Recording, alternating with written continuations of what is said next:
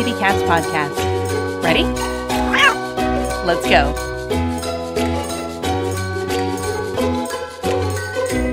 Welcome to the Community Cats podcast. I am your host, Stacy LeBaron. I've been involved helping homeless cats for over 20 years with the Merrimack River Feline Rescue Society. The goal of this podcast is to expose you to amazing people who are improving the lives of cats. I hope these interviews will help you learn how you can turn your passion for cats into action. Today, we're speaking with Ashley Shoults. Ashley is a principal with Animal Arts, an architecture firm in Boulder, Colorado that specializes exclusively in the design of animal care facilities. She has a varied project portfolio, managing animal shelter, veterinary, and boarding projects, including the 35,000 square foot Old Town Pet Resort in Sterling, Virginia, and more than a dozen facilities for the Veterinary Emergency Group located from Boston, Mass to Encinitas, California. Ashley is currently working on the design of a new animal shelter for Paws Seattle. Her expertise in every aspect of animal care design is illustrated in the book she recently co-authored, Practical Guide to Veterinary Hospital Design. Ashley, I'd like to welcome you to the show. Thanks for having me, Stacy. So before we dive into all things architecture, which is my passion, so I'm thrilled to have you on the show. First, let's share with our listeners, how did you become passionate about cats? It goes way back. I think my love of cats started all the way back when I was probably about five years old. I remember we lived in Ohio, and this was during an era where animal welfare didn't have the significance that it does today, and people weren't as educated about it then. And I remember when I was five years old, we were out playing in the front yard, and my sister and I found two kittens living under a tree in our front yard and there appeared to be no mother around and so we decided to make them our own and they became our cats and we brought them inside and into the house and they became our pets and we learned to grow and love and care for those cats. But again, because the animal welfare education wasn't what it is now, we didn't spay and neuter our cats. And so our female cat, they were indoor outdoor cats, ended up having kittens. And so we went through that whole process of having kittens in the home again and all of that stuff. And so from a very young age, we had cats in the house and I watched the whole process and grew to love them. And now today I have two cats of my own that I've adopted from the local shelter here. And I just love cats and love who they are and what they bring to us as pets.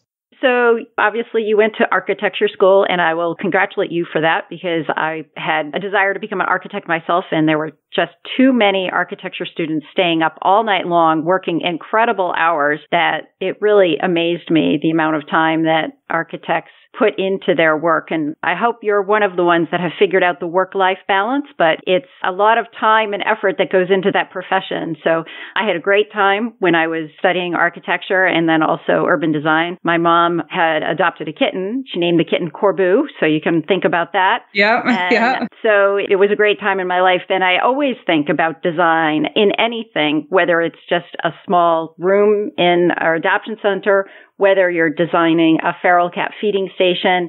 You know, before we dive into the specifics of what's it like to design a cat facility, why is it important for us to think about how we should design our spaces for the cats that we care for? It's hugely critical. I mean, from my perspective, I love doing it just in that most architects are strictly designing for humans. And that's great. We understand that because we're human. And so we can relate to how we're designing spaces and how we might interact with those spaces. But doing what we do and getting to design for both the people and the animals that occupy the space, it's just a fun way to look at the built environment and the world around us. And we see it in the work that we do and what kind of impact it has on the animals. Poorly designed spaces cause more stress in cats and dogs. And that stress then leads to more illness and disease and can be detrimental to the health and well being of the animals that are in the space. And so we need to constantly be thinking about how the people use the space and how the animals use the space and how do we make it an environment that the animals will also thrive in. So I think you've been at Animal Arts for about 14 years now, and a lot has changed with regards to cats and the number of cats that are coming into shelters in the last 14 years. How has that changed your thoughts around shelter design? Yeah, absolutely. So, in the last decade or two, we've always said cats are the issue in the animal shelters. And they are and have been, in that dogs were coming in and getting adopted much quicker, and cats had a longer length of stay in the shelter. And so, it became an issue of how to better house them in terms of keeping them healthy, as well as how to feature them better and get them adopted. But that went on for a while of just cats having long length of stay, not getting adopted as quickly. But we're seeing that change. There's not as many cats coming into the shelter, and the cats that are in the shelter are usually getting adopted quicker now. And I think that's a huge reason behind that is because of the education that shelters around the country are doing in educating people about adoption as well as how to care for animals and educating people that maybe are thinking about relinquishing their cat and how to work with them so that that doesn't have to happen. But we're just not seeing those numbers in the shelters anymore. And so what we're seeing now is there's a big paradigm shift that the cats that are coming in are actually typically community cats that have a different path that they need to take within the shelter. A lot of the general public will find community cats thinking that they're doing the right thing by bringing them into the shelter because they think they're just a stray or they're a lost cat and that they should be in a home, not knowing how community cats operate and what benefit they actually bring to the community. And so we're seeing more and more of that. And again, that has to change the way we think about cats in the shelter and what their process in the shelter looks like. So you use the word path. I think about the word flow. You know, there's different flows. So you'll have the cat come in in the door to the facility. And, you know, the question is, does the cat become returned to field?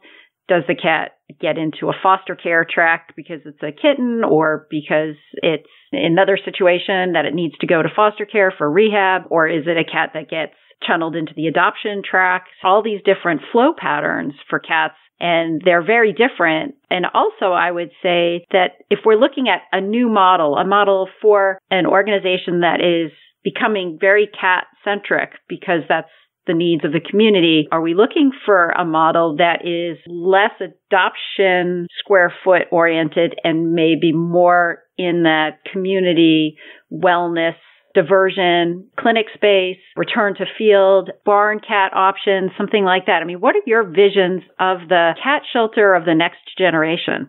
You touched on a lot of the things that come to mind for me too, in terms of what we've experienced with different shelters dealing with community cats. Like you said, there's a variety of paths, right? So, one, let's think about it from the different types of cats that come in. So, kittens, community kittens that come in, if they're well socialized or can easily become socialized by having some time in a foster home or that sort of thing, that's great. Those are the cats that want to eventually go onto the adoption floor. Maybe they're old enough that they're ready to go straight to the adoption floor, or maybe they need some time in a foster home for a little bit and then they can come back and go to adoption. So that's one example. What am I seeing change related to that is foster programs at shelters are having to grow significantly because of this. And we're seeing that. And it's awesome to see people step up and volunteer to help with fostering cats, but it's not without its challenges either. When we think about adult community cats that are coming in, there's again a variety of paths that they could take. Most of the time, they're going to be returned to field. And what does that look like? That probably means we need to think about the clinic space a bit more because they're going to come in in a trap. They're going to get spayed or neutered and vaccinated and then they're going to be taken back to where they came from. And well, they'll probably be ear tipped as well, and then taken back to where they came from. But what does that look like? If we're seeing more and more of those numbers, we have to think about where are we housing those cats when they come in in their traps and are waiting to be spayed and neutered and vaccinated and all of that stuff. And I think that this is a big area for opportunity and growth in our shelters because these cats are super stressed out. These are cats that typically just live outside they're active at dusk and when it's dark outside typically. And so they're being brought in in a trap, carried around in this trap that they're feeling uneasy and unstable in, put into probably a bright room where they're being sitting in their trap waiting for their turn. And then they recover go back in the trap and go back to where they came from. And i think one of the big things here is how do we house them and how do we reduce the stress for them? There's simple things we can do like making sure that we have covers on the traps so that they feel it's darker, which is more of the environment that they're used to because they're more active at night. And then they're also not seeing all the other cats next to them. And then thinking about how we're transporting them. When a cat is in a trap and they're being carried by the handle on the trap, nobody likes that. It's the same with someone's pet cat in a carrier, they feel unstable and uneasy. And so maybe we think about different ways to get them into the facility. I've seen clients use like bakery carts and they place the traps on the bakery carts and then wheel them in so that they at least feel a little bit more stable. And then once they get inside and we're housing them, we might think about ways to make that environment more like their natural environment? Are there ways to have an operable window in that space so that they're getting fresh air and hearing outside noises? Other things to consider dimmable lights. So maybe if we don't have covers for the traps that they're in, we have dimmable lights so that it doesn't have to be these big bright lights shining down on these cats and increasing their stress levels. So that's just, again, rattling off the top of my head. These are all things I think we need to think about. And some of them are little things that can have a big impact. And other times we need to consider the built environment and having more physical space for these community cats that are coming in because we're seeing the numbers increase. Yeah, and I also think temperature is another important consideration. And you talked about fresh air and making sure that the noise that is coming into that space is pleasurable noise, not dogs barking from the dog pen around the corner. So that also comes into the fact with regards to design too, where I felt that it's extremely challenging to have dogs and cats or mixing a lot of different animals in one space. Even if the dogs are, you know, in one wing and the cats are in another wing, there's just still this feeling of stress there. So what are your thoughts when you're designing for clients that are mixed animals or have you done designs for a cat only facility?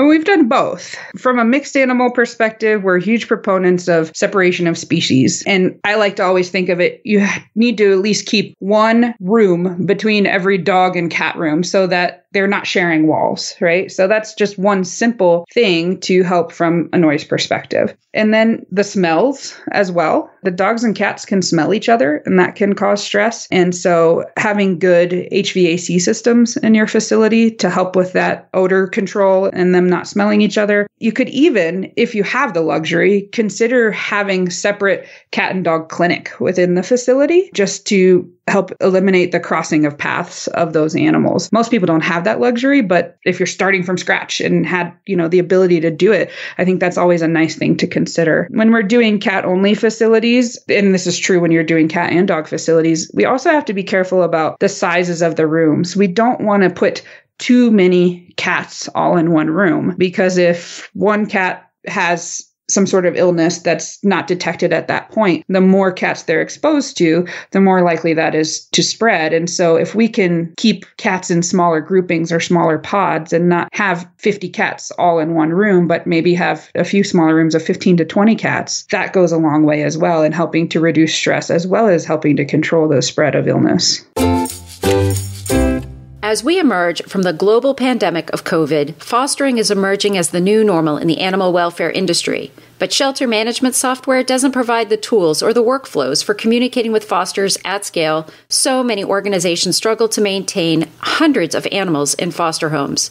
If only there was a system that was custom built specifically to solve this problem. Introducing Foster Space, powered by our friends at Doobert. Foster Space was custom built to allow you to manage hundreds of foster relationships and to communicate with them via text, email, and even Facebook Messenger. Your fosters have a portal where they can upload videos and photos and updates on their animals. And organizations can schedule fosters for meet and greets, adoption days, or anything else they need. There's so much more to check out. Sign up for free at www.doobert.com and go to the Foster Space tab to get started. Community Cats podcast and feline leukemia advocacy supporter Margaret Tompkins are thrilled to announce our first ever online feline leukemia educational day to be held on July 18th from 10 a.m. to 5 p.m. We will have a wonderful group of speakers sharing their expertise around feline leukemia. Planned speakers include Amy Kolbecker from Best Friends Animal Society, Dr. Julie Levy from the University of Florida, Brittany Fox Hover from Merrimack River Feline Rescue Society, Danielle Case from Treehouse Humane Society, Dr. Heather Kennedy from Casey Pet Project, and Monica Frenden from Austin Pets Alive. I really hope you'll join us on July 18th from 10 a.m. to 5 p.m. To register for just $25, go to www.communitycatspodcast.com and click on on our virtual education tab, and you'll be able to sign up today. Please join us. Please learn all that you need to learn about feline leukemia and make those adoptions happen. Once again, go to www.communitycatspodcast.com. Sign up today. We'll see you there. So, what are your thoughts about the cageless environments versus a caged environment? And cage design has also changed dramatically over the last several years too. But I also think that there's sort of a camp out there that appreciates sort of the caged environment, and then there's the cageless environment group. And I didn't know if you had thoughts on that. Honestly, my thought is that you need a little bit of all of it because no two cats are the same. Some cats won't do well in a caged environment and do better in kind of a group housing situation or a free roaming situation. And other cats do well on the opposite end of things and want to be in a cage where they have more defensible space. And so I'm a big proponent of having a variety of housing so that you can cater to the needs of each individual cat. The thing that we needed to keep in mind is how to do that if there is caging or if there is group housing, how to do it properly. And there are guidelines about what size cages should be for cats. If cats are being housed long term, like on an adoption floor, we typically want a four foot wide cage at a bare minimum. A five foot wide cage is preferred. The idea there is keeping that two foot triangle between litter box, food, and resting areas, right? And so having a wide enough cage to be able to do that is important for their health and well being. And then from a group housing cat perspective, the general rule of thumb and best practices is that you have 18 square feet per cat. And so making sure that you have the right amount of space, even if they do thrive in a group housing environment, as well as defensible space so that they have resting benches to get up high and go remove themselves from the rest of the cats in that environment and that sort of thing. Another thing we're seeing happening more and more often is kind of an in between those two. People are taking what are typically used as dog runs, pre manufactured dog kennel type things, and putting a top on them and then letting those be cat cages, but they're a larger cat cage. And so there's different levels. And so it might be a five foot by five foot box that's six feet tall. It's like a dog run that you would normally put a dog in, but you put two cats in there instead with the idea that you could have a bonded pair of cats or a mom and kittens in that space, and they have more space to have a bit of free roaming without being in a group housed cat environment. So I'm a big proponent of having a variety of housing options so that you can cater to the needs of each cat. One question, and this is probably the million dollar question out there, is finding out what the magical ratios are. Like, how many cages or how much capacity do you want to provide for your intake room, for an isolation room or a sick room, and then for the adoption floor? I mean, that's always the question because it seems like at every, you know, adoption center that I've gone to, there's too many cats in this section. That room is like, has one cat in it. So there's always this challenging balance that goes on. And I don't know if you have had any experience in determining, like, if you want to have 30 available cats on your adoption floor. You should have room for 10 cats in your intake. Do you have any sense of what those ratios should be? Really hard to say. Every organization is different. The one thing I will say is that when we first start working with a client, before we dive in and help them design their facility, we take a hard look at the numbers and we look at the number of cats coming in and going out for the past five years and understand what the trends are. Are numbers going up? Are numbers going down? Where are the cats coming from? How many are adoptable? How many are returned to field? And we analyze those numbers so that we can get a gut feeling of where we need to assign the space appropriately. But again, it varies depending on the organization. So I don't know that there's one magic rule of thumb. The one thing I can say though, and this kind of goes back to what I talked to you before, is if you can create smaller pods of rooms that are all similar in nature and layout, that could give you the flexibility, depending on what the situation is, to use those rooms differently. So maybe you have five rooms that can each house 15 cats. And during peak kitten season, when kittens are old enough and adoptable, maybe three of those rooms are for adoption and two are for intake, or vice versa, depending on how quickly they're coming in. But during slow season when you're not getting in a lot of cats you don't have a lot of intakes coming in but you have several cats extra sitting on the adoption floor maybe four of those five rooms are for adoption so just the idea being that if you have a variety of smaller pods of rooms that are designed the same you can change their function based on your needs yes or let's say it's uh, multitasking the space. Right. Or stacking different multi-purposing that space. And I can add to it and have a drop down desk or something in there and make that as an optional privacy workspace too for folks. Because I know that they're also in this environment a lot of people have a hard time finding a quiet place to work. And so if one of those rooms happens to be empty it could almost act as a study room too. Yeah, I, I agree. I think providing that flexibility within the space, especially when it comes to housing, can go a long way in helping to meet your needs depending on what those seasonal fluctuations may be. So before we sign off, I have to bring up the topic of money. It takes a fair amount of money to build a new shelter. There's a lot of stress and anxiety. There's a lot of capital campaign work that goes on to raise money to build a new shelter or to buy a facility that you're going to renovate or something like that. What are your recommendations for organizations that are thinking of moving forward and embarking on a new shelter? My recommendation is to start early. The process will take longer than you think and it will cost more than you think. so start early, get your ducks in a row, and figure out what it is that you absolutely need out of the new space first and work with an architect or someone who understands that and can do that assessment for you so that you know what you're getting into. Once you know what kind of capacities you need to have for housing your animals. That will inform how big the facility should be. And then that will inform, of course, a budget then you can work towards. And then there, of course, are creative ways to try to accomplish these goals in small incremental steps. Maybe you don't have the budget to build a brand new facility. Start small. Little changes can go a long way in terms of increasing the welfare of the animals in your care, helping to reduce their stress and that sort of thing. So talk to someone who's been there, done that. Maybe it's another shelter organization near your community that recently did a build out or an architect or any of these resources we have in the animal welfare world. Talk to them and get ideas to how you can improve your facility in a way that works with your budget. That's really great. If there are folks that are interested in finding out more about animal arts and the work that you do, how would they do that?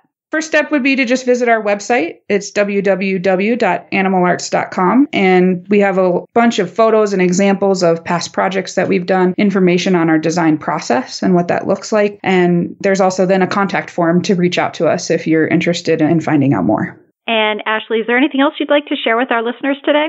I guess one last part of advice that I would challenge everybody to consider that I didn't get to touch on previously, and I'll just do a quick bit here, is that to think about the barn cats that may come through your facility. We didn't talk a lot about those, but that's another area I think we need to be thinking about as we move towards the future of having more community cats coming in and through our shelters. How do we properly design housing for those adult cats that maybe can't be returned to field? And how do we provide them a good comfortable life in our care in a barn type setting. And I think we're going to see a lot more of that in the future. And so I challenge everyone to start brainstorming and thinking about what that might look like for your community and for your shelter.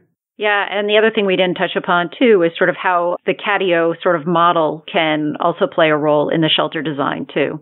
Absolutely. Yeah. We're big proponents of that. I love finding opportunities to let the cats get fresh air in a more natural environment. And the catio approach is a great way to do that. Well, Ashley, I want to thank you so much for spending some time with me today and for being a guest on my show. And I hope we'll have you on again in the future. Thanks so much, Stacy. I really appreciate it. And I look forward to doing it again.